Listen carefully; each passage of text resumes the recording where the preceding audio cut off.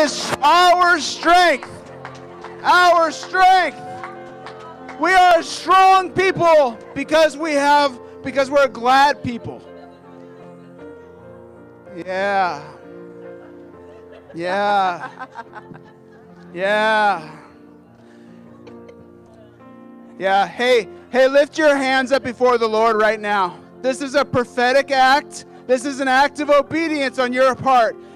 And I, what I saw was that we have both hands up before the Lord. Both hands. Both hands up. And the Lord is anointing your hands right now. I saw him doing this. He's there's oil coming on your hands right now. Oil that is it's it's an oil to bless the work of your hands that the hands your hands match the hands of the anointed one. The anointed one puts the anointing on your hands so that you're doing what his hands are doing. So, Lord, we present these hands before you to be anointed with power from the anointed one Woo! to do the work of the anointed one. We receive it right now.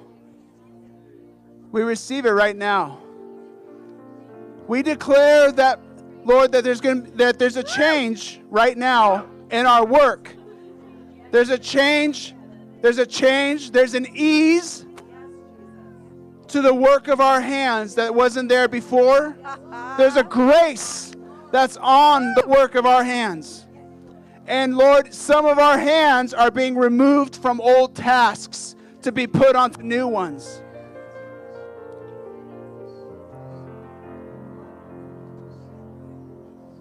Yeah. Hallelujah. So we say that these hands are your hands, Lord. These are your hands to do your works. And you receive all the glory for it.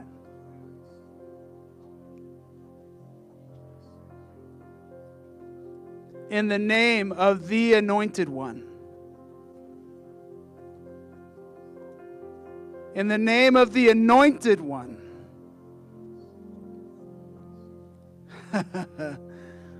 There's no lack of anointing.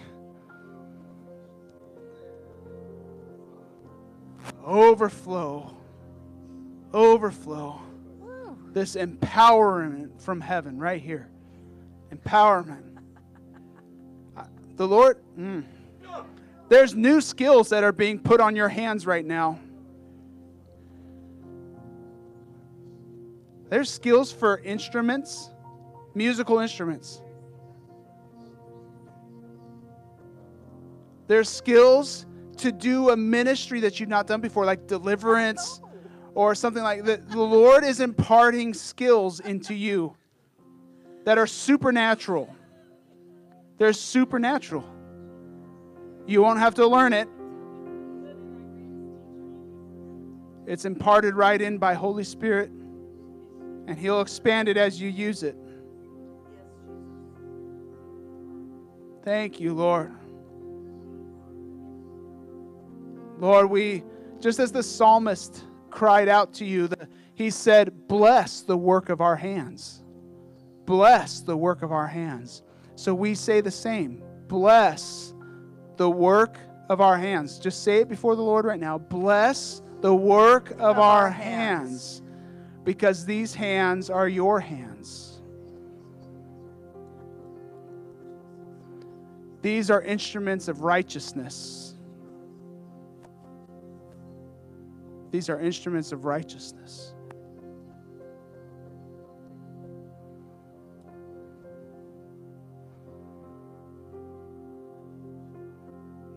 Yeah. Yeah.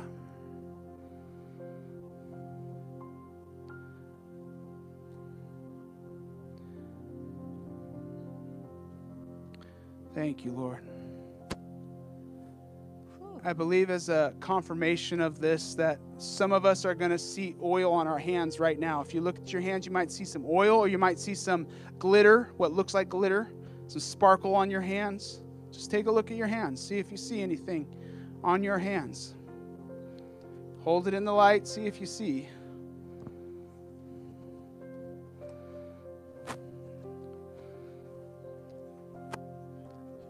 Last Sunday, we were experiencing the smell of anointing oil on our hands.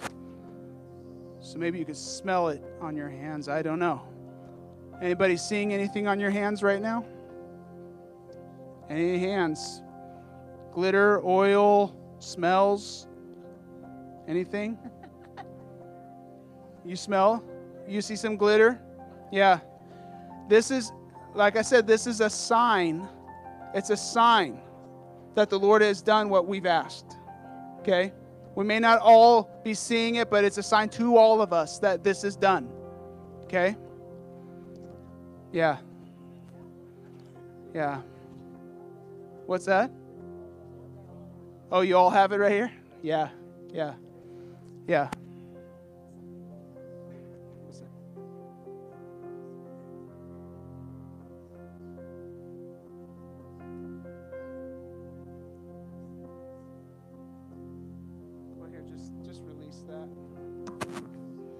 So when Pastor was saying uh, that God was there was going to be an ease coming, I heard the Lord say there's going to be a smooth transition. He's going to give us lots of help, and His people will volunteer in the day of powers. That scripture that goes with that word. And then He said He's giving us open ground in which to maneuver. So Lord, we just thank you for smooth transition, lots of help, and open ground in which to maneuver today and all the days of our life. In Jesus' mighty name, thank you, Lord. Yeah. Yeah. Yeah, thank you, Lord. Thank you. We thank you for the anointing, Lord. Thank you for it. We already have it. Thank you. We seal this by the power of the blood, against which nothing can stand and nothing can speak. It's sealed. It's finished. Thank you, Lord. Thank you, Lord. Thank you that we have eyes to see and ears to hear and a mind to understand as we step forward in this new anointing that to, to discern where we have stepped into new anointing to discern it so we can steward it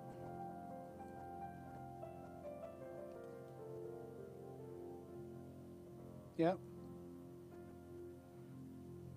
Yep. Yeah. In Jesus' name. Amen. Amen. Woo. Hey, I think we I think it's appropriate to give the Lord a, a clap offering, applause, a praise. Thank you, Lord. Thank you, Lord. God has been faithful. God has been faithful, as faithful as faithful. I can't get off the word faithful. I'm stuck on faithful. An awesome God we serve. I want to thank every single person that has attended this school. And right now, before I preach, because once I preach, then when I get through, I want to move in the gifts. So I want to do all the certificates now. And so when we call out your name, um, we want you to come up, and she's going to call them off pretty, pretty fast. So then she's going to set them on the chair. So if you don't get up there fast enough, then you're going to have to find it on the chair. You follow? So as soon as you get the certificate with your name, you're going to come up here and stand. You're not going back to your seats, okay? So You have to come up here. Come on. You have to, everyone, when I call your name, you have to come up here.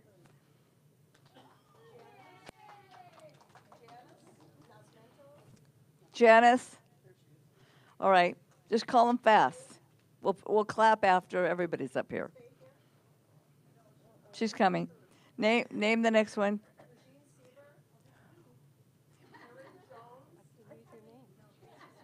Huh? Yeah, right. I signed them.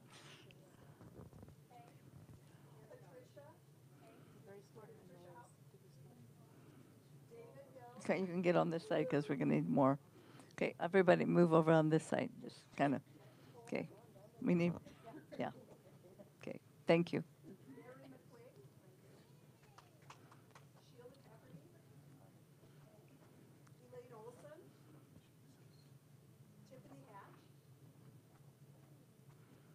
They've been to all the sessions. They might have missed one, maybe two at the most.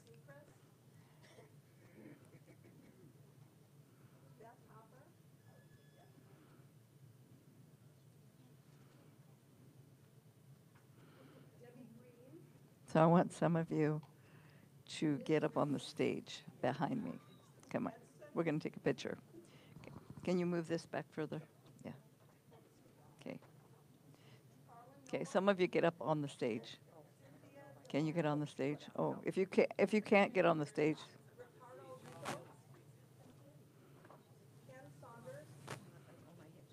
No, no, okay. Just those that can get. If you can't, just stay down here. Come on. Come on down this way. Some of you get up on the stage. We're going to get a picture. If you can get up on the stage, get up on the stage. You get by me. Okay. Pastor, I want you up here too. P- Please. I mean, I'm, I'm not telling you, I'm just.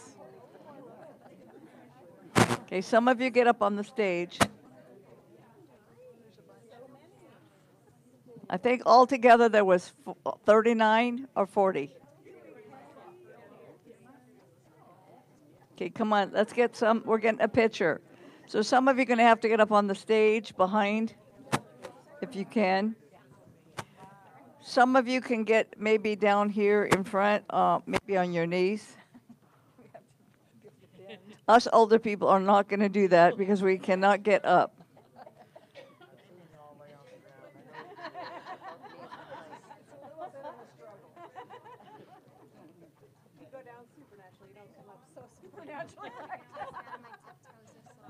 Now, did we forget anybody?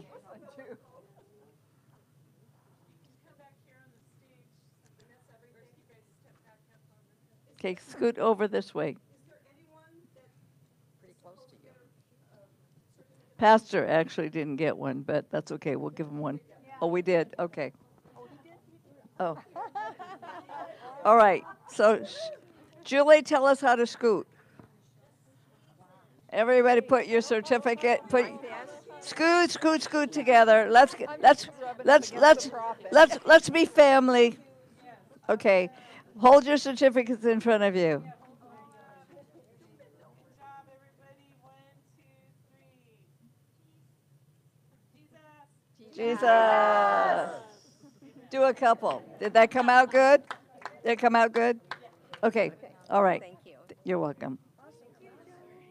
Thank you so much, every single one of you. Thank you Thank you for coming. You're welcome. God bless you all. You're good students, really. Could you uh, grab that thing over there and bring it? No, no, the, the, yeah, with all my stuff.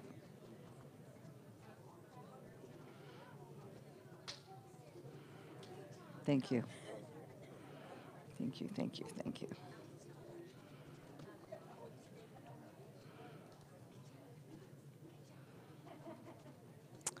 I just want to let you know, Pastor and your lovely wife, thank you, thank you, thank you for hosting this. Let's give them a big hand. You see, your pastor is bringing people in he he knows who he's bringing in for when he brings them in and and just times them out every way so that he knows his he's teaching you but he knows that you in order to grow a church you need the fivefold. You you can't a pastor can't do it all and you and you it's like every now and then you get a little treat. And, and the preacher might say exactly what the pastor's been saying forever. I don't know how many pastors have told me this I have said the same thing and preached the same messages that you've preached, but for some reason, oh, Joan, it's so good. And, uh, and he said, I've been preaching it for five years, but because it's a different person.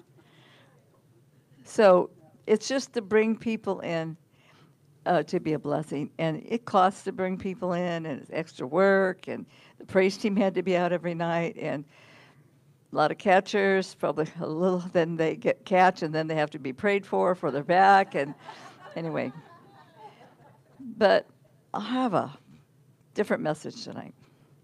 So I'm going to pray first. Father, we just come before you. I thank you, Almighty God.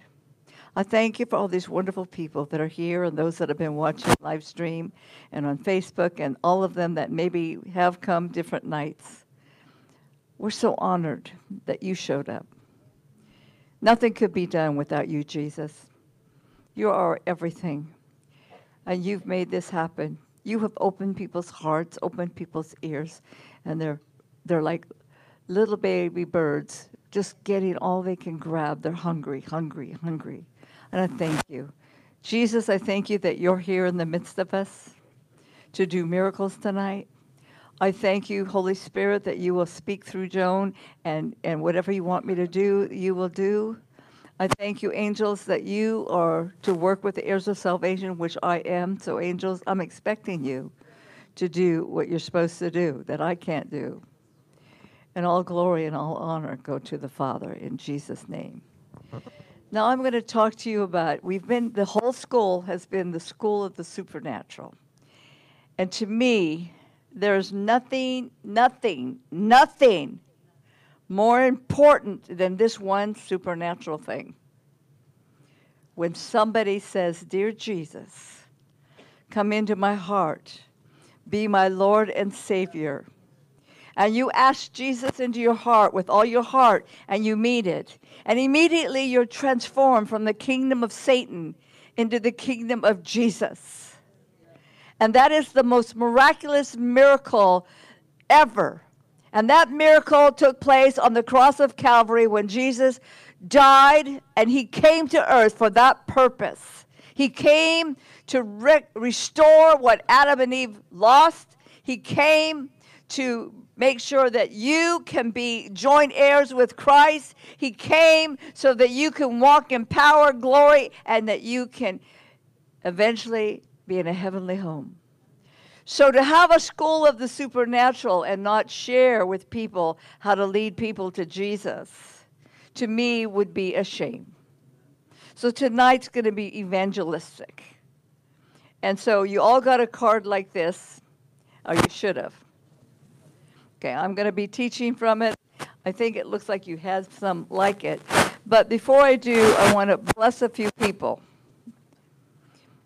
So I'm going to bless a few people, and then as I preach, I'm going to bless more people. Just going to let you know how I'm going to bless people. Because when I get through, all these books that are on here are going to be out there with you. So I'm going to bless somebody now. This here and we're talking about angels. We're living in a season where angels are going to start showing up. I'm telling you, you're going to start seeing angels. I mean, literally, you open your eyes and you're going to see angels working with you. Okay, now some people try to tell me that's Old Testament. And I go, no, it's not. Cornelius had an angel came to him and said, go send for Peter. Now, I just want you to know, angels cannot preach the gospel while we're here. Now, I want to say something very important to you. We, believe me when I say this, all the angels in heaven rejoice whenever somebody accepts Jesus. They would love, the angels would love to be able to do what you're doing. They would love to be sharing Jesus. They would. But this, this, so uh, this is gonna, this is gonna blow you out of the water. Years and years ago, my mind went blank.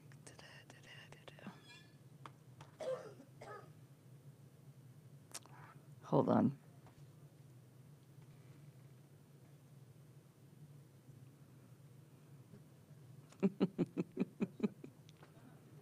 Somebody's got to help me, and you're all saying, We have no idea what you're doing, so how are we going to help you? Okay. Oh, he was a boring preacher. Okay, that don't tape that. I mean, that's okay. He was a boring preacher, but every miracle, and he had angels that followed him all the time. Come on, help me. Huh? No. Who? Yeah, that's it. William Branham.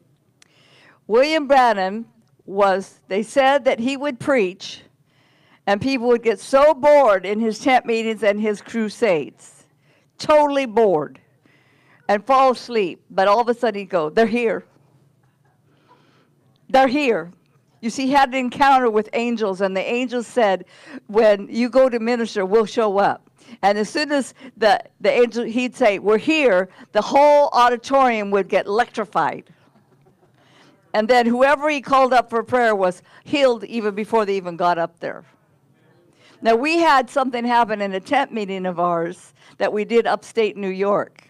Upstate New York, I had a lady sing, and she was supposed to come here and sing for you, but another time. But anyway, um, she sang a song, and she put a tape recorder in the tape thing to sing the song. We were exhausted. I'm telling you, the whole team was exhausted. I had uh, 59 people with me for two weeks doing evangelism work, and I decided that they were going to get. Now, this is what I decided, and what I think God told me to do it, and I'm sure He did because it turned out just fine. And I, I just, I mean, the Holy Spirit told me how to organize it. So I had everybody, everywhere we went, we went on buses, trains, and subways. Now, it's really hard not to lose somebody when you have 57 people and you're coordinated. The only one on the whole trip that got lost was me and my team, because we all had teams. My team got off at the wrong exit in the Bronx at 1 o'clock in the morning. And we're wandering around the streets trying to figure out where the church is. And the policeman pulled by and said, Are you guys out of your mind?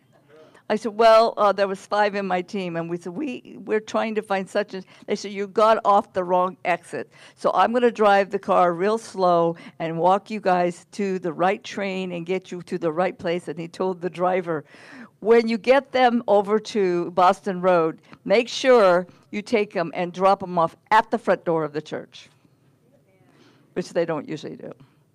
But William Branham, and so the lady that sang for us at that tent meeting that we got lost at, I, all of a sudden she got through singing, and we all applauded.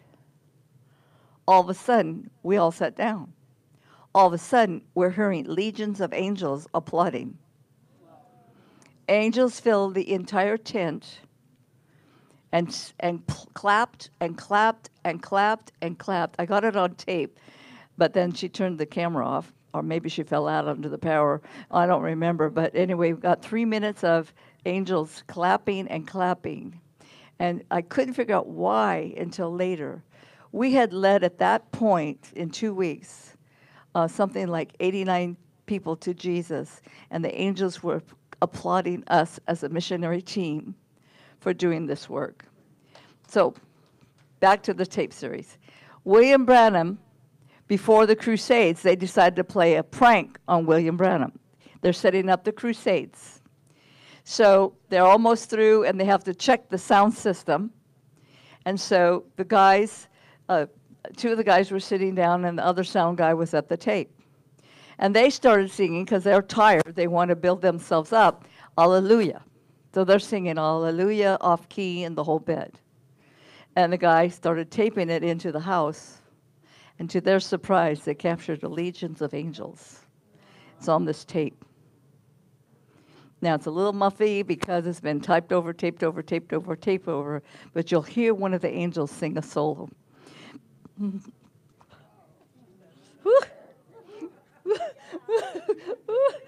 Pastor.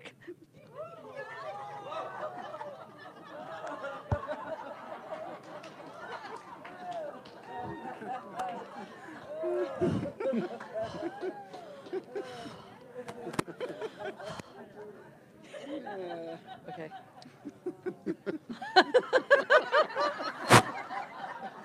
Go ahead. You can, you can preach No, no, no, no, no.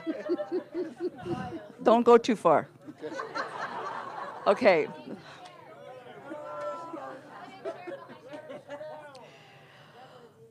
Do you want a chair? No. I, I told somebody once if you make me not use my hands and I sit down, nothing comes out my mouth. But anyway, so the solo angels on this, you hear them singing Alleluia. It'll put hair. And my, my teaching tonight is evangelism, okay? So I have this atheist fr- friend, well, a friend of somebody. He comes to my house and he, I try witnessing to him. He was actually working on something in the house.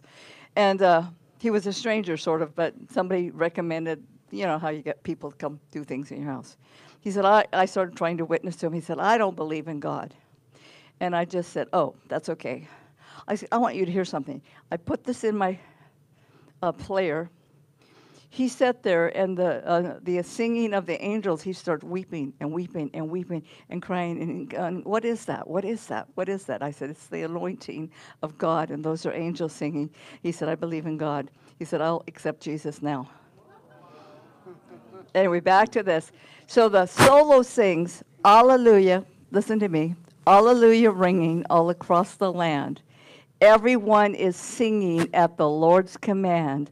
All the saints and angels up in heaven wait to hear the news of Jesus and his children as they're coming through. It's yours. There's more on the book table. So anyway, soul winning. Go ahead. I'm fine. I'm fine. Yes, I'm fine. So soul winning is very, very important. So another one I'm going to throw away right now and give to somebody, and they're out on the table too. Is God spoke to me. This is a vision of heaven. When God took me to heaven. You see, when I first got started in ministry, this is very important for all of you. I wanted to be a hot shot. I'm just being honest. I thought someday I'm going to be a great Kathryn Kuhlman and I'm going to be this and I'm going to be this and I'm going to lead thousands of people to the Lord and my ministry is going to bounce off the wall and be recognized all around the world. Well, it might still, but. So, anyway, I'm uh, in the Philippines. No, I wasn't. I was in Mexico on a mission trip, and there was uh, swastika signs on everything. And three of our missionaries they found uh, several weeks before we got there, cut up and in an agoli, dead. So when we got there, they said uh, you have to stay close because when you see these swastikas, they're killing people, especially Christians. So don't go wandering off too far. Well, I kind of decided to go for a walk.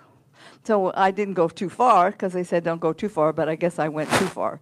So I went a little ways, and all of a sudden I hear this roaring of engines, lots of engines, lots of engines. And I could see a whole caravan of jeeps and jeepneys and some kind of military type behave yourself. military type things, and they all had the swastik signs on it. And I went, I'm not ready to die. So even though I'm afraid of skates, uh, snakes, I jumped in the bushes, crawled way into the bushes, so they nobody could see me. And while I was in the bushes, the Lord gave me an open vision.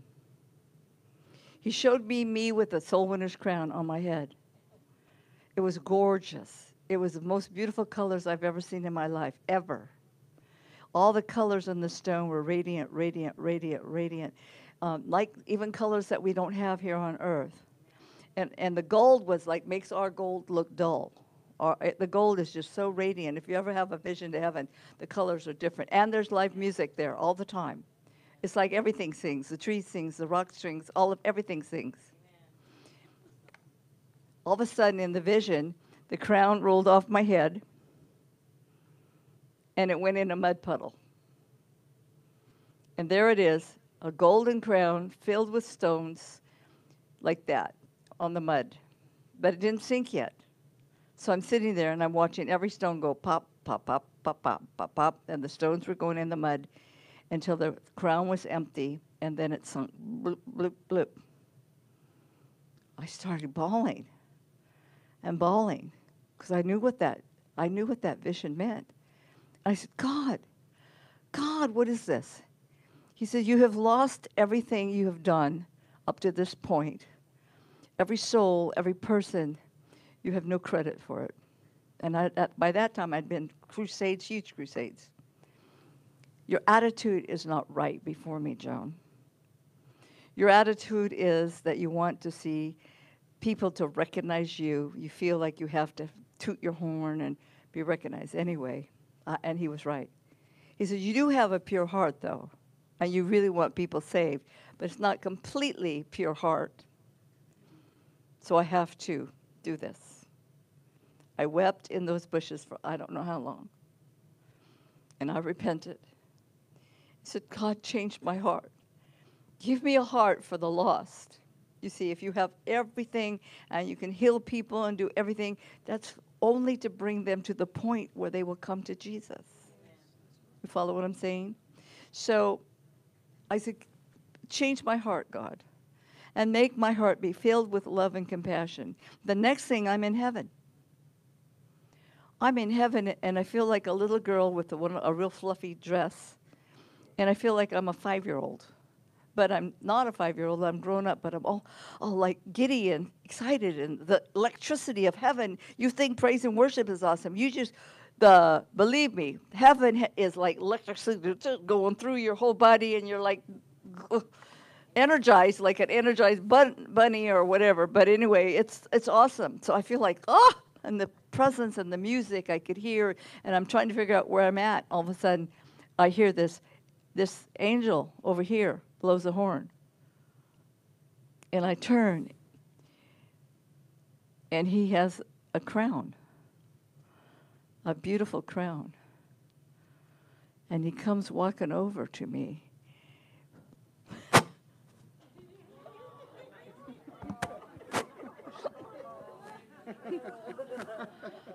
he, he comes walking over to me and he places this crown.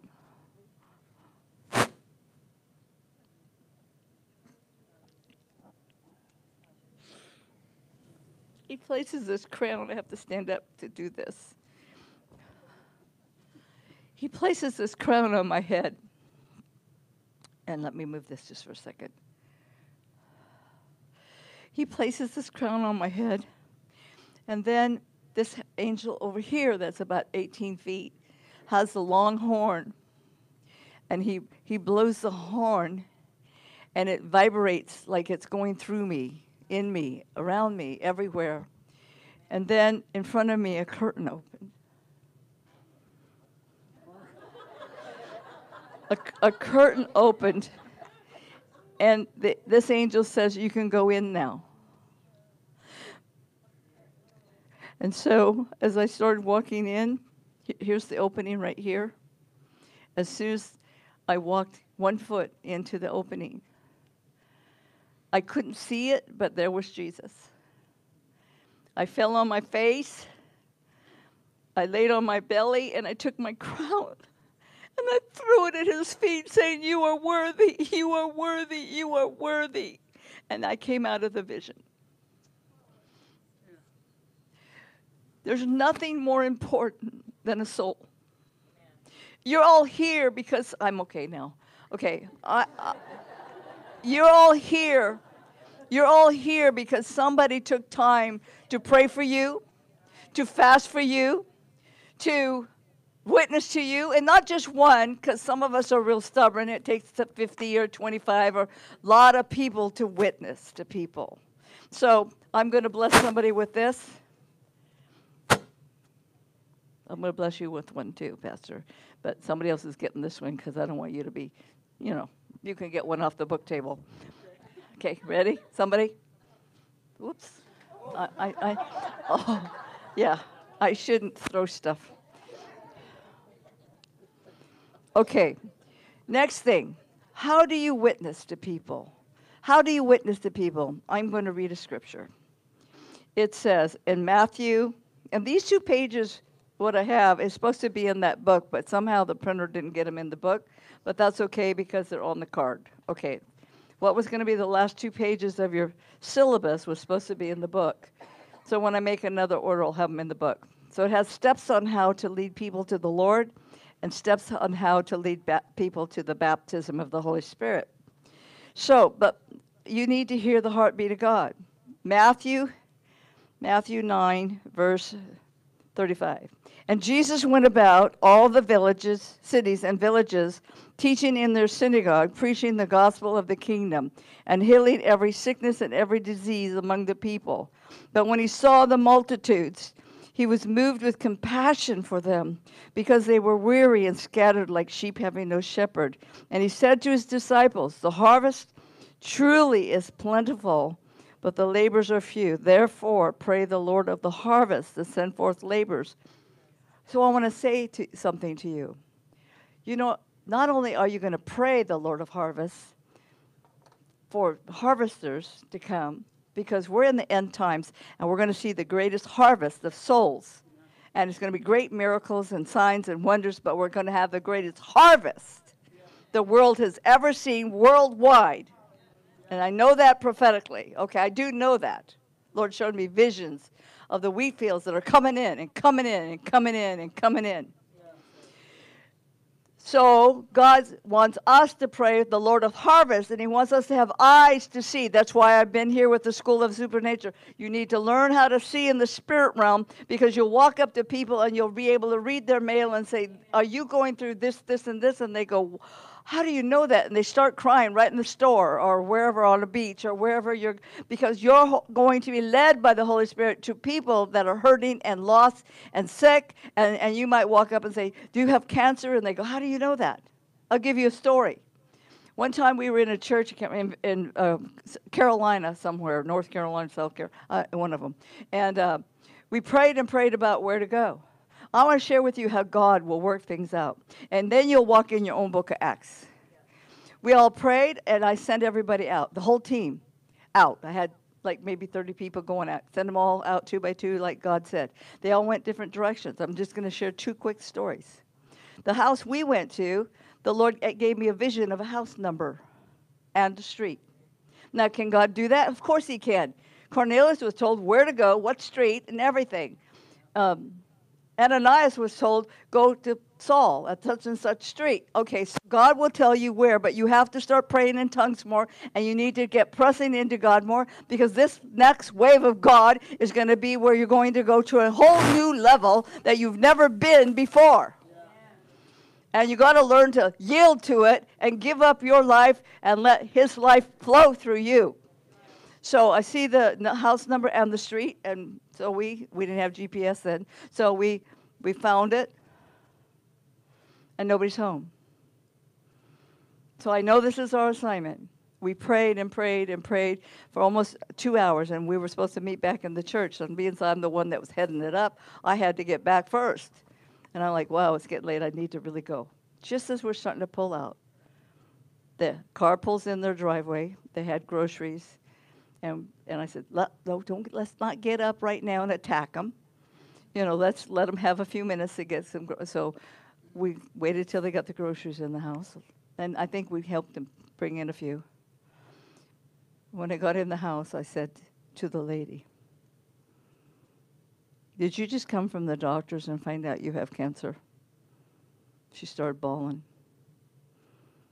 My wife is full of cancer. We went to the doctors and then we went to the store. I says, Your wife is not going to die. God sent us here and even gave us your address. She is going to be healed. And she was. Another one went to a door, shared the love of Jesus. She said, Go away. I don't want to hear about Jesus. I'm Catholic. I have my own religion. And she started to slam the door on me, so I put my foot in the door and she hit it. I mean, she hit my foot. And I says, wait a minute. I said, you have a husband that is dying in your house right now.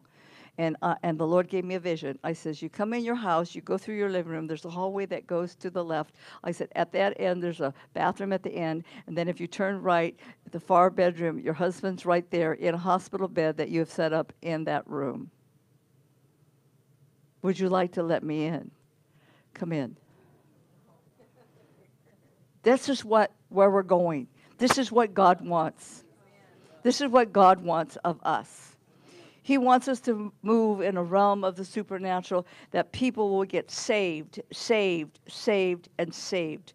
And so God wants to use us. And so back to pray the Lord of harvest. So this is what I do, and I would recommend you doing it.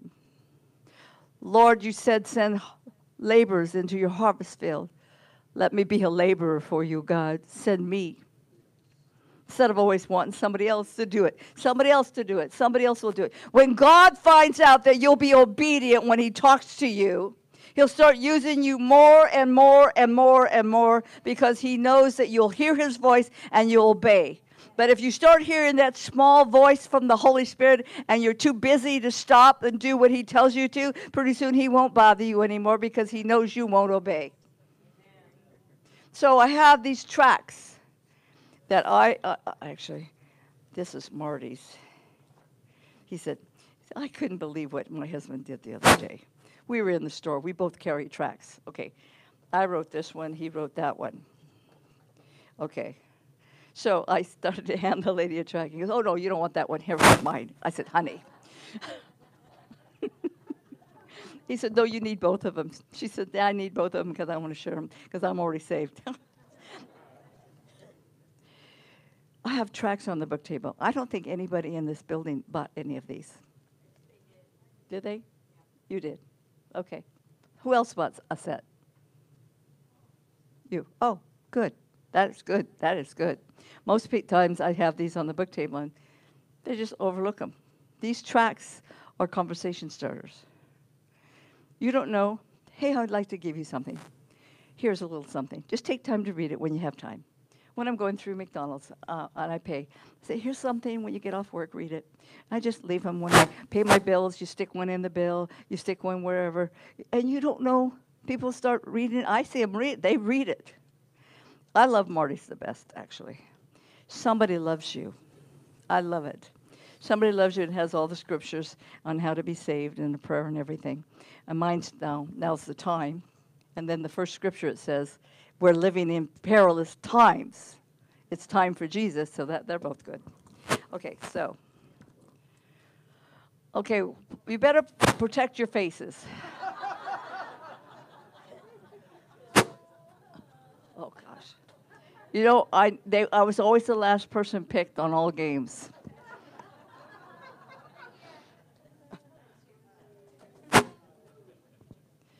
So then the Holy Spirit, oh, I have one more. Oh, wonderful. Okay. Oh, back.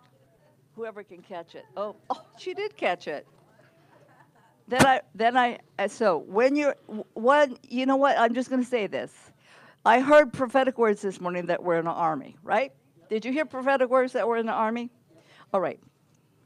And that you're going to learn how to use your tools?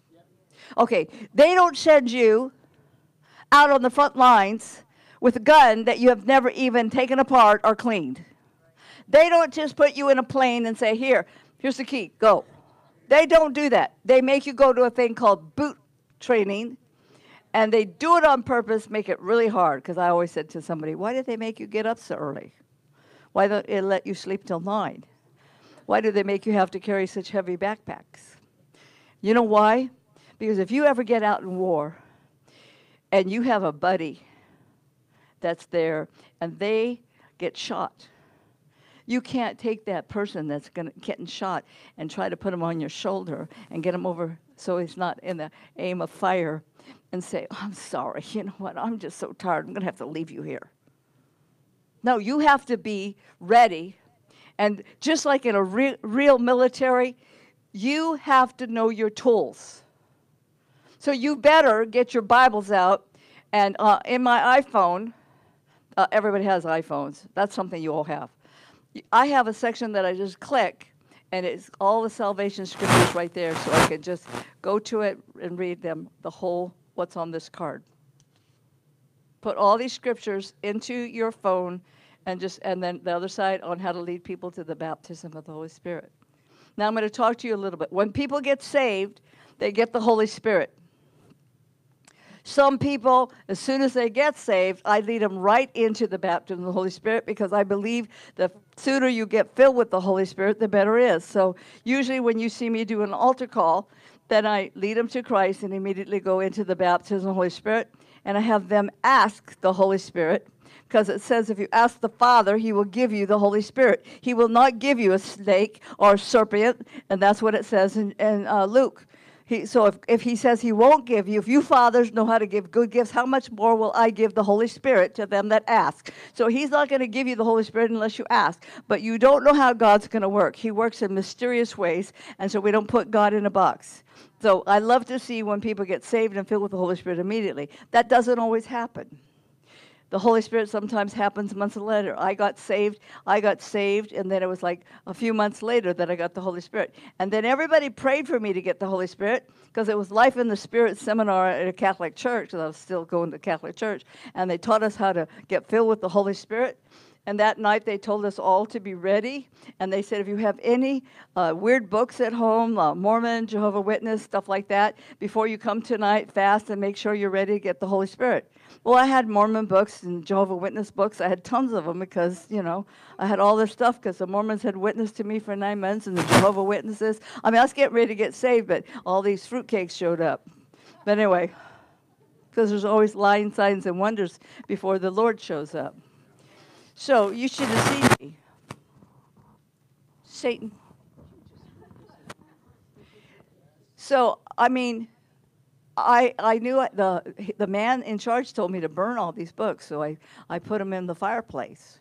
I put stacked up, you know, I must have had eight, nine, ten books. I put them in the fireplace and ruffled up the pages, and they wouldn't burn. And I was like, but I didn't know about demons yet, so they wouldn't burn. And I thought, well, I have to get these burnt before the kids get home from school, or they're going to wonder what in the world their mom's doing burning all books in the fireplace. So I went out in the garage, and there was gasoline. So I got a cup of gasoline, you know, that we use for the lawnmower, but it did the job. Believe me, it did. So I poured gasoline all over the books, and then I stood away because I know a little bit. And when the kids came home, Mom, it's a hundred degrees today. Why you have a? Nah, never mind. But they did burn.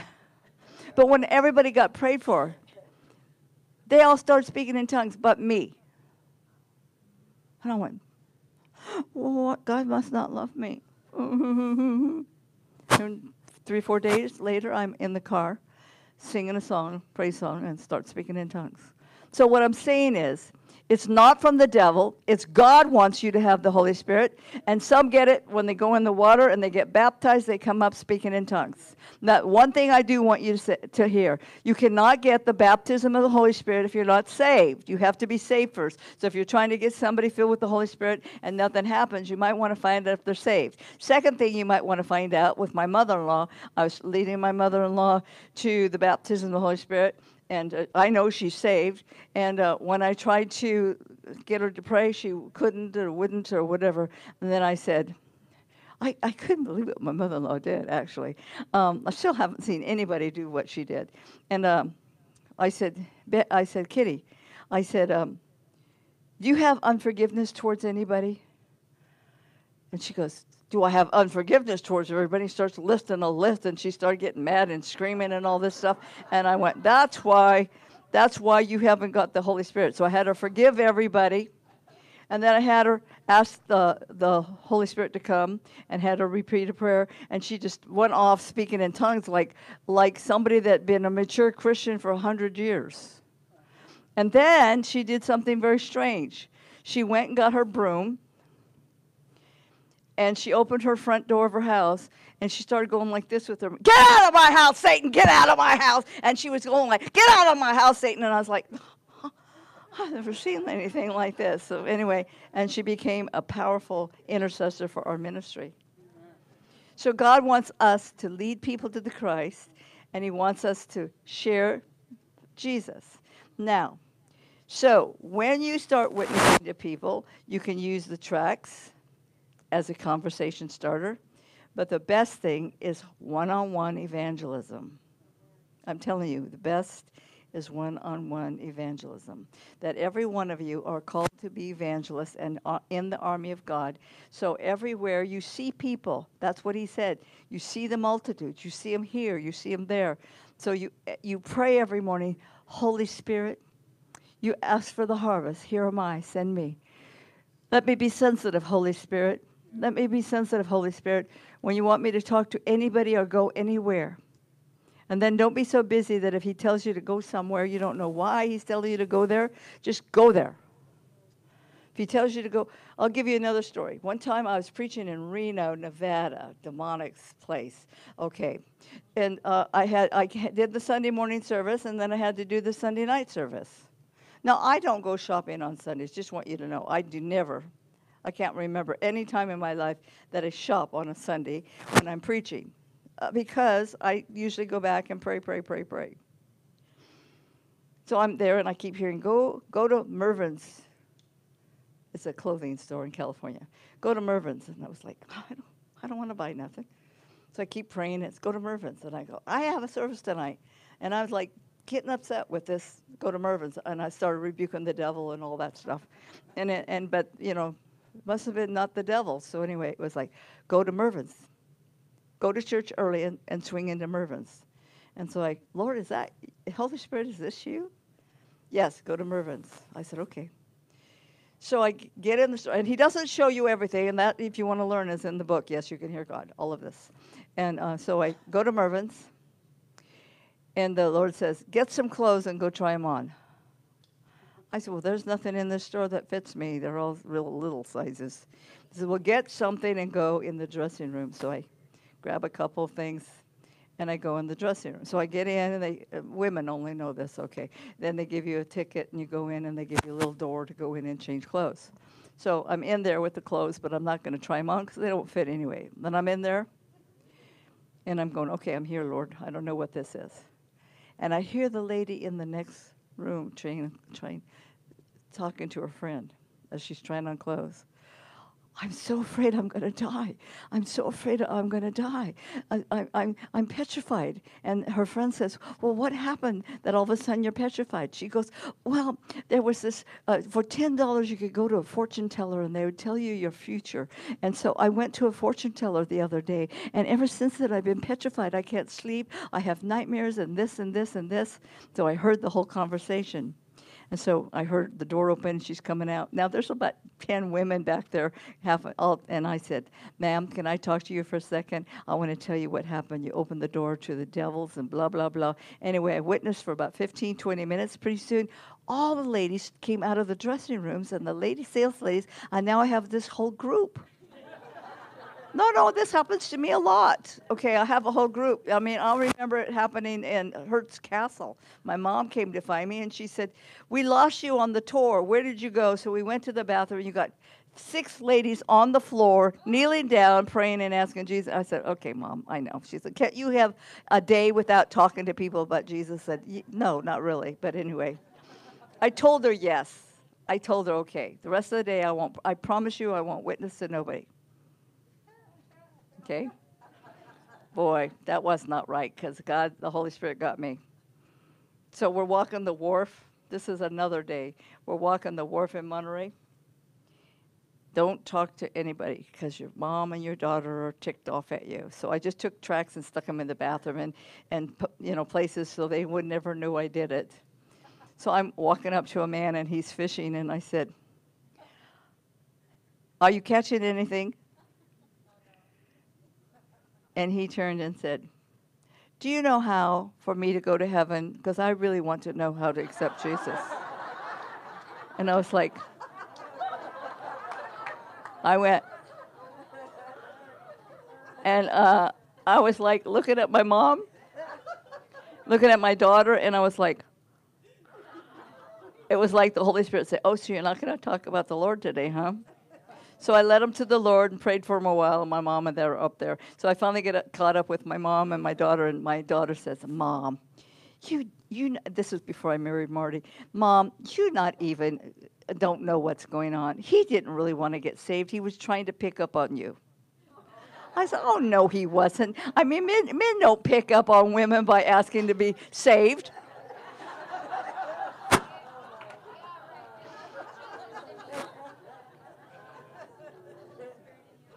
Anyway, so we lead people to the Lord. We start conversations, and we're led by the Holy Spirit. These are all stories about how God led me. And actually, in Hearst Castle was just I was putting tracks by all the sinks, And a lady said, What are you doing? I said, Well, these tell people how to accept Jesus and, and how to get out of sorrow and if they're hurt and, and if they come to Jesus, they won't be sick anymore. And she said, I want to know more about it. Pretty soon, other people were coming out of the bathrooms. You don't know how God's going to use you. You just don't know. And God wants to use us. Now, the worst thing in the body of Christ is this after a person gets saved,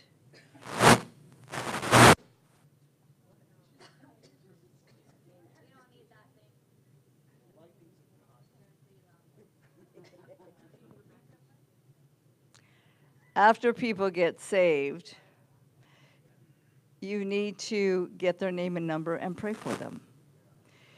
And you need to go with me to this next scripture Matthew 28 and verse 16. And the 11th disciple, wait a minute, no, uh, 18. And Jesus came and spoke to them, saying, All authority has been given to me in heaven, all, all, all authority in heaven and on earth. Go therefore and make decisions. Does it say decisions? Oh, you think it says decision? Oh God, hallelujah. I got somebody to pray today and make a decision. That's really easy to make a decision. I told you tonight's going to be different. Okay, watch. Let's pretend I'm pregnant. I already have a big enough belly so I can pretend like it. Okay, pretend like I'm pregnant. See my big belly? And I come to church and you all say, Sister Joan, you're pregnant. We should have a shower for you at the church. I said, that'd be great. So I'm pregnant, and you say, what are you going to have? Because, you know, you can know now. Back then I couldn't. Okay, I'm going to have a little boy. Do you have his name picked out? Yes, I'm going to name him Alan. So that's my son's name. Anyway, so, uh, so then it comes time for me to have the baby. And, you know, I come to church and one time I told the Lord, in, this story, I come to church and I'm skinny. And I said, Lord, I'd like to be skinny one day. That would be nice. And I even told the doctor, I think I have a problem, doctor, because I went to the doctor to find out why I'm so chubby. He said, so he ran tests on me, right? When I came back, I said, okay, doctor, what's the results? He says, you do have a serious problem. And I said, I knew it. I knew there's a reason that I can't get skinny and lose weight. He says, You have an overactive fork.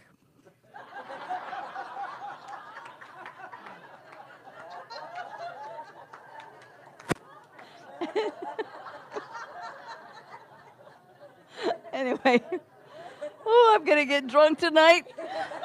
Woo! Anyway, so I'm pregnant and I come to church and I'm, I'm skinny, okay? And, and you all come up to me nicely. Oh, you had your baby. I said, I did. And he said, Boy, is he healthy? Yes, he is. Where is he? Oh, let's see. Where is he? Uh, let's see. I had him in the cart in the back uh, when I was at Walmart. And then let's see. I then I went to Safeways to buy groceries, and I put him in the back of that little cart with his little car seat. And that's where he's at. He's at the grocery store. And you would all say, What kind of mother are you to leave your baby in the. And so you start attacking me, you beautiful saints of God. And I, and I say, Don't get on my case. I know. I propped a baby bottle in its mouth, and I put a whole package of uh, formula in the back of the cart and a whole thing of Pampers. Sister Joan, you can't do that. But yet,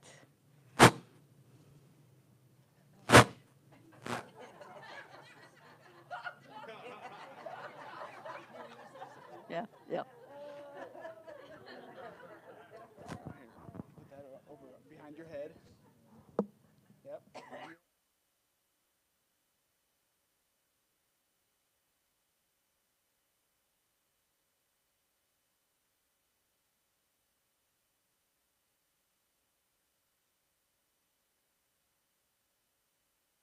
I'm left-handed.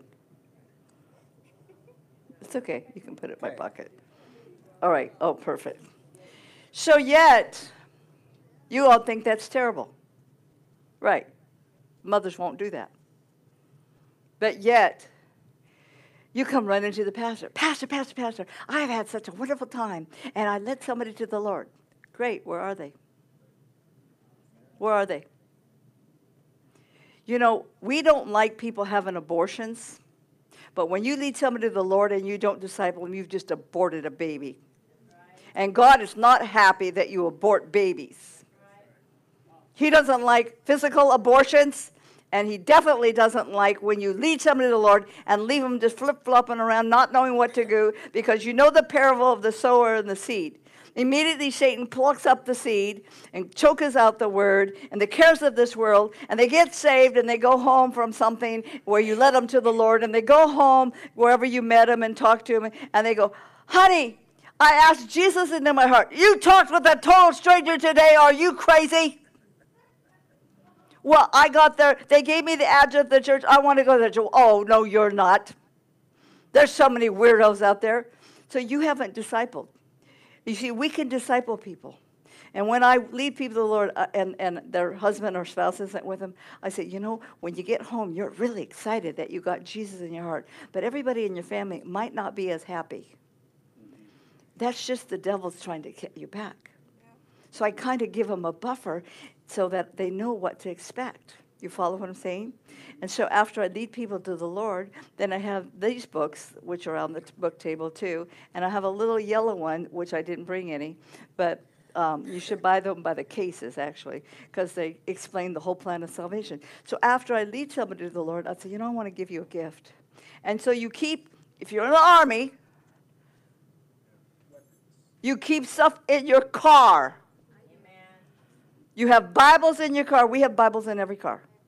We have tracts in every car. We have follow up material. We even have extra Bibles. So if we need somebody to the Lord, we want to give them a Bible. We have flyers about the church or cards so they can call. So then I go, I want to give you this. Because just because they pray and say, Dear Jesus, come into my heart, they don't understand what happened. They don't understand the warfare that's going to happen. They don't understand. So you need to put a tool in their hand. So I have this little tool that leads, tells them what happened, explains to them all about their salvation, and leads them right into the baptism of the Holy Spirit. Let's see, who am I going to throw this at? Oh, I, I tried to get it your way, but that's the way it went. All right, sorry. Then I set up, I would love to come. And I say to the people, Have you ever had trouble understanding the Bible? Now, we know that until they're saved, they have trouble understanding the Bible. So when I ask that question, pretty much they all say, Yeah. I said, Well, I would love to bring you and help you. Then I say, Do you have a Bible? If they say no, then if I'm out and about, if I have one in the car, fine. If I don't, then I'll say, I'll be, Can I have your address? I'll bring it by. Then I get their name and number, and then there's many ways to disciple. I can text them, call them, send cards. And usually when I take people out door to door evangelizing, we have a whole bunch of stationery cards, and before I let anybody go home, they all write a note. Thank you so much for taking time and letting me come into your home or talk to us. And write a scripture and a little note. I'll be calling you. If you need any problems, here's my number. And we put it in the mail the next day. I have, I have in this book, first book written ever. I didn't write it, Holy Spirit did. Has how to lead people to the Lord, how to do outreaches, how to how to lead, uh, how how to disciple, how to set up home cell groups, how to grow a church from zero to huge. You go into if you go into a neighborhood and you lead one to the Lord, you go into their home, you start loving on them, you go and you stay short. You don't stay long and you compliment them on every thing you see in the house that you can compliment. Oh, those pictures of your kids? Oh, I see those are trophies for golfing. Do you golf? Oh, yes, wonderful. And so you praise them and you build a friendship. You have a little cup of tea with them if they want you to have a cup of tea. And this is what I use. I use these, which is a third book I wrote, which I didn't write. I cannot take credit for any of these.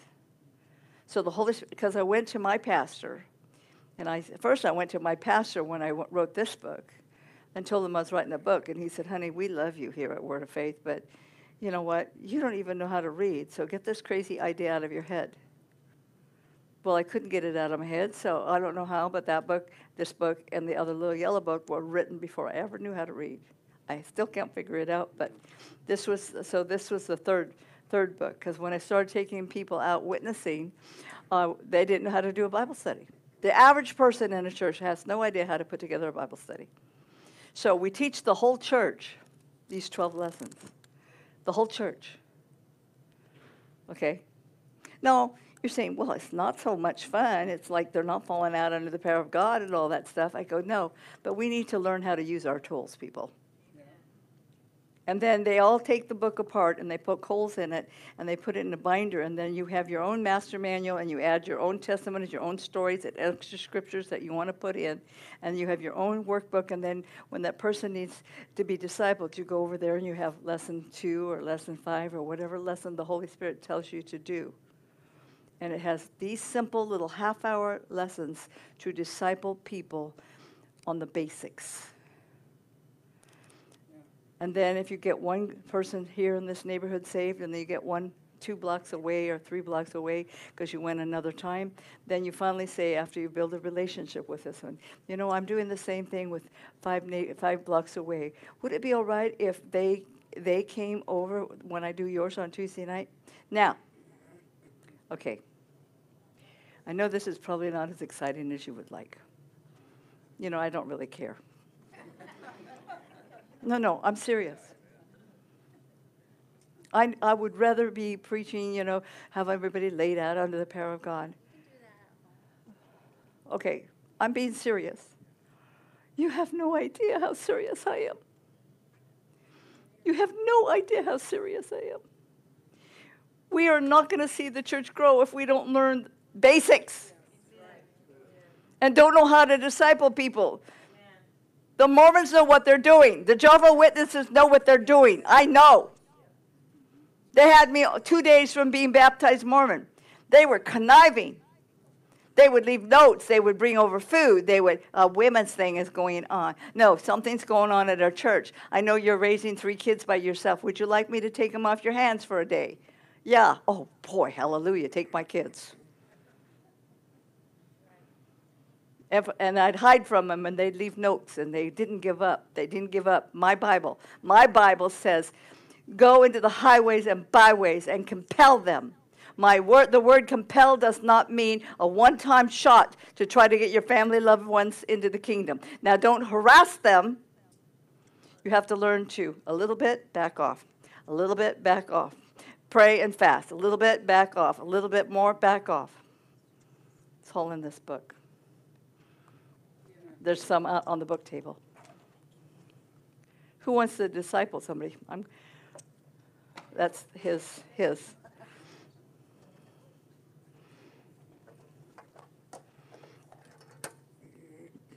The school. Everything that's in that book and some is in this one. Pastor, I'm going to give this to you case you want to get a discipleship team going and have them watch those videos. So, God wants you to know take time, put the scriptures together. If you want to use a little pocket testimony, you can get one to keep in your car. Highlight all the scriptures in red for salvation, yellow for the baptism of the Holy Spirit. Take your tools. I, I mean, it's just one hour here. Usually, when I do the School of Evangelism, it's a full week. I can't even get it all in in four sessions like we did for the supernatural.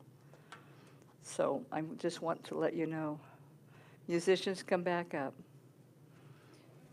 The greatest miracle, the greatest, greatest miracle is you. Look what God has done for you. How many of you are so thankful that God, somebody witnessed to you, somebody prayed for you, somebody sought God for you, and the greatest miracle of all.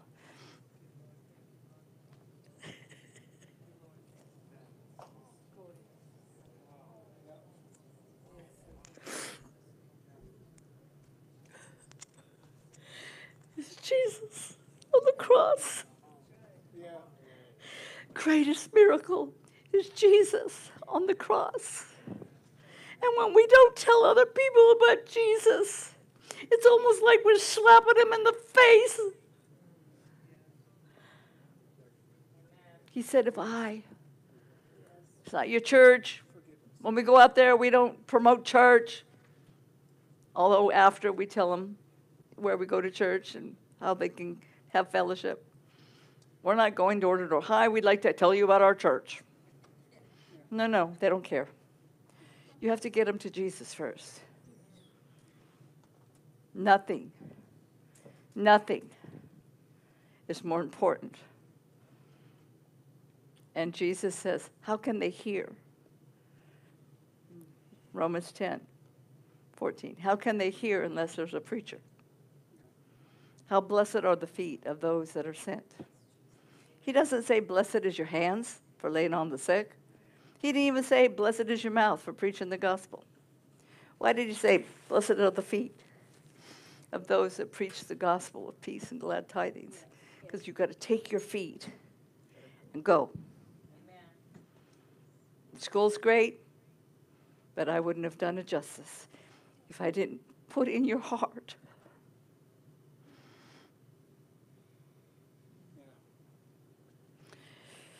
the importance of the greatest miracle, the greatest miracle is Jesus Christ and Him crucified. Everything, everything. And when He said, Father, forgive them, for they know not what they do. And then He said, It is finished. Everything you need.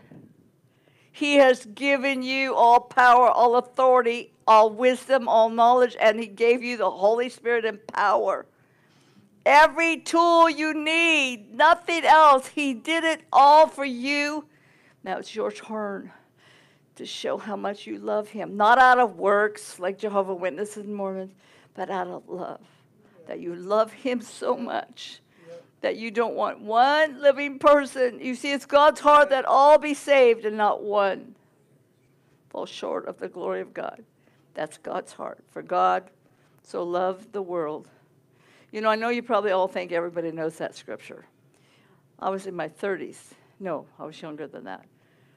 I was 27, 28 before I ever heard that scripture. Don't take it for granted that everybody knows. One time, witnessing, I was talking to a father trying to get a witness, and I, I said, Do you share Jesus with your children? Oh, yes. You don't need to go on and on, lady. Uh, we, we all, we're all saved here, and we know Jesus. About that time, his three kids ran in to get popsicles. I said, Come here for a second. Do you know Jesus? Do you know Jesus? Do you know Jesus? Dad, are we supposed to know that man?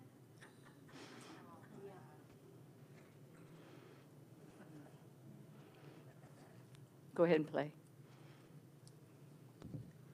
Praise you, Jesus. I want everybody to raise your hands up.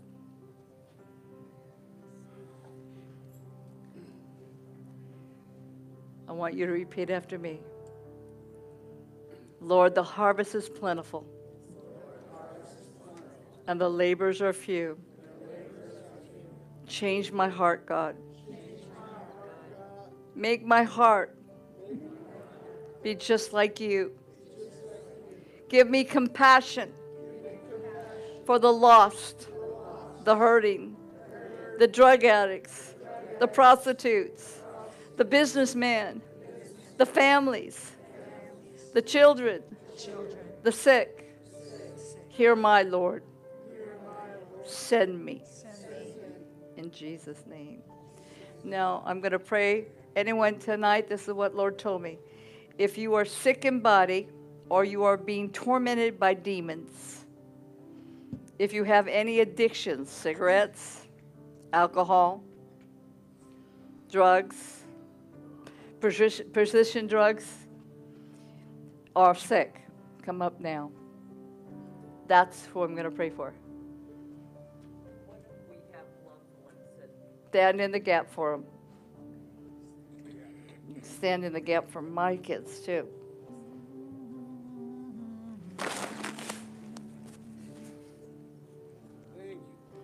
Go ahead and sing a song. They're going to sing. I want you all to let's do a little worship and then I'm going to pray for people. I'm going to pray for your son. You're going to stand in the gap. I, I stayed away from your son today a little bit because I knew that he's he, he's scared of me, to be honest.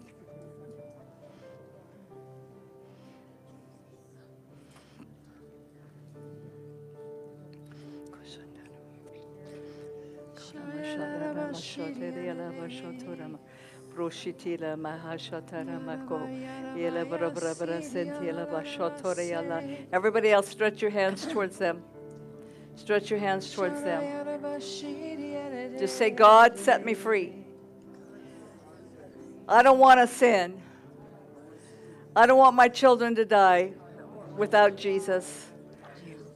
I don't want anything bad to happen to anybody. I want you to heal me and set me free. Fear must go. You did not give me a spirit of fear. I'm going to walk in love, power, and a sound mind. I have the mind of Christ. And I will be able to witness. So send me out, Send me out, healed and delivered. In Jesus' name. Some catchers be ready. Scoot up, everybody, to me closer. That's fine. I'm not going to sit right there. Just go sit there. That's fine. Sit.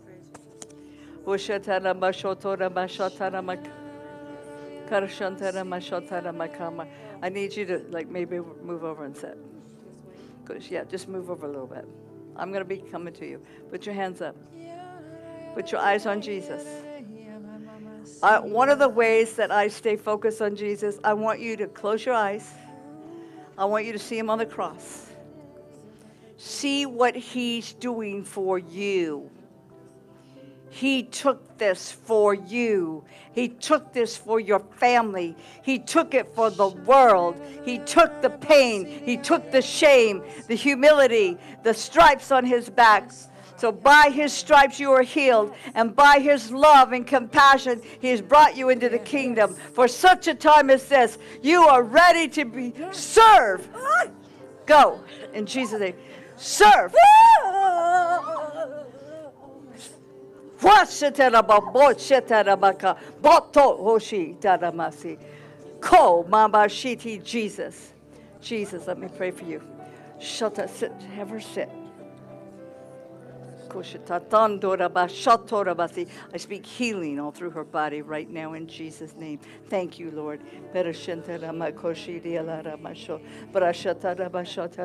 Jesus. Keep looking at Jesus. Keep looking at Jesus.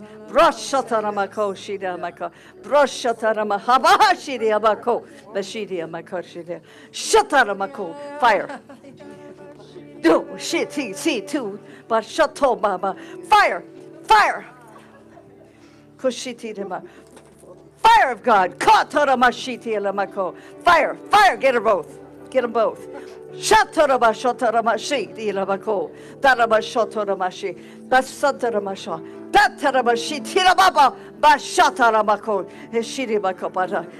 Use it for your glory. Use it for your glory. Fire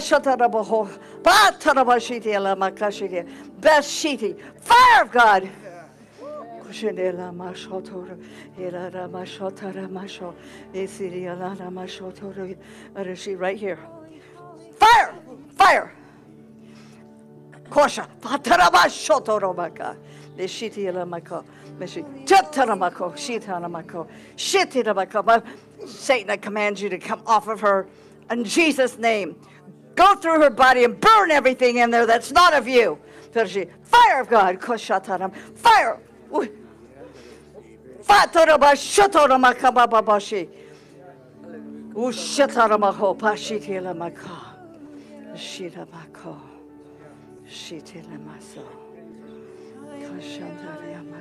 Let me pray for your family. I pray for this church. That you will make it a soul winner signs, wonders, miracle church, signs, wonders, and miracles, signs, wonders, and miracles, and they will be bringing people in, new people, and they will disciple people, and the church will grow and grow and grow. Have your way in Jesus' name. In Jesus' name. Hallelujah. Hallelujah. Right now. I have to change right now. Close your eyes. See your family. I know some of you have loved ones, grandchildren, great grandchildren, maybe even your own spouse. You have great grandkids. You might have relatives, neighbors, acquaintances that you want in the kingdom. Let's pray. Father in heaven, it is your will that all be saved. We pray on behalf of them. We pray on behalf of them. We stand in the gap for them. Show us, Holy Spirit, what demonic forces are holding them back. Show us if they're caught in addiction or a cult. Show them, show them. Re- Reveal yourself to them in dreams and visions. And we ask, Almighty God, that you surround them with Christians and the Christians will witness to them and witness to them. Some of them won't listen to us, but send people to them. And we keep praying. Show us Show us what's binding them so we can loose them yes. in Jesus' name. Lord. Loose them so they will yeah. hear the gospel yes, of Jesus Christ. We command the deaf and dumb spirit that's on them, the Antichrist spirit that is controlling yes. them, to set them free in Jesus' name. And we thank you in thank Jesus' you, name. Hallelujah. Hallelujah. Hallelujah. God is good. God is good. God is good. And then, I just want to say this, and then there's a multitude that at one time accepted Jesus.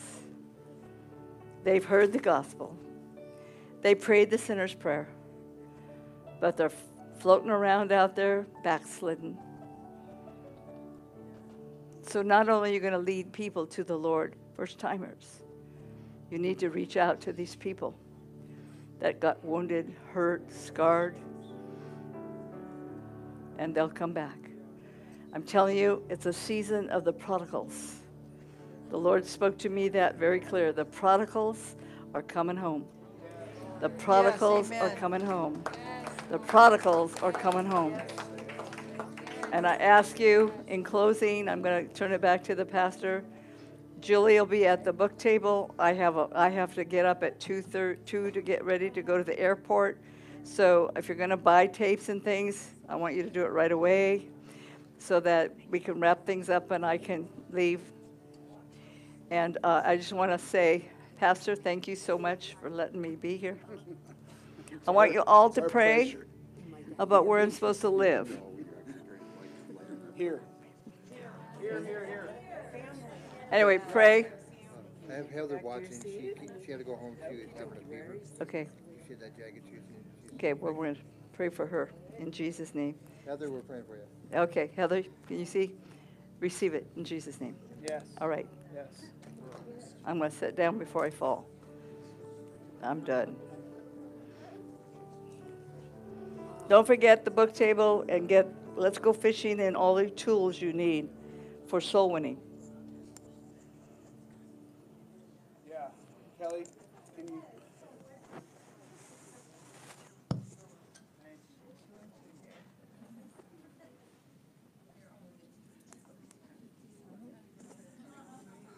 Do I have my phone? No? Thank you, Lord. I don't have my phone. I don't have any phone. Lord, we thank you for your equipping over these last few days, but also in this whole time, because you are Hmm. I hear the Lord saying, calibration. Calibration. You are recalibrating your church.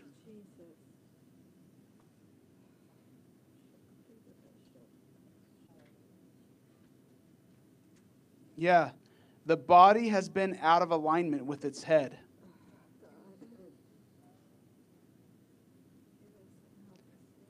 And He is recalibrating us to be back into that full alignment. It's like a heavenly chiropractic adjustment.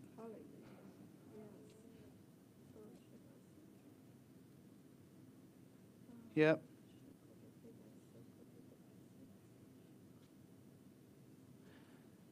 Thank you for forgiving us where we were out of alignment. We confess it. But thank you that now there is an equipping and an empowering to be who we already are ministers of reconciliation.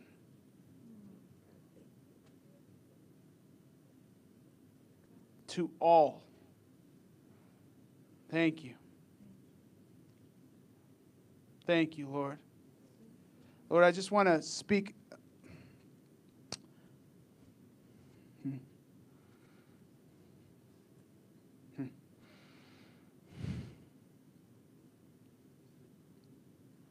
I just want to speak a release over this house and call this house a soul winning house. A soul winning house. A house of discipleship. A house that goes and that puts on display good news. We don't want to preach sin, we want to preach grace and salvation. Thank you. Thank you, Lord. Thank you for that release over this house. Thank you, Lord, that it also, we want to speak that release over all of your house in this whole area, Lord. That the church in North Idaho, Eastern Washington, Western Montana, the inland Northwest here, that the church here would be a soul winning church. Lord.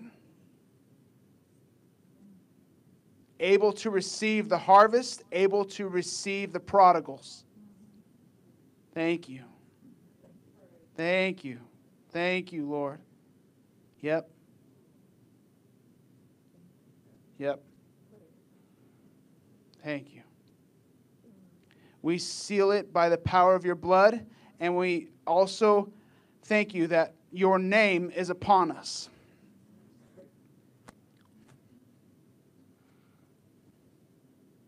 In the name of the Savior of the world, Jesus, the Anointed One. Amen. Amen. Love you. Thank you for coming. Thank you for committing. Thank you for stepping into new things. Thank you for saying yes. Thank you for yielding to the Lord. Thank you for love being what compels you. Yeah. Yeah. Well, get your books, get your resources, whatever it is. Grab your grab your manuals that you purchased, and uh, if you want to receive more ministry, if you want prayer for something going on, you can grab somebody next to you. Um, you can grab Joan; she'll just do something quick. Boom. Okay? And, all right? So, love you. Love you. Thank you, Thank you so for much. being here. Keep me in prayer.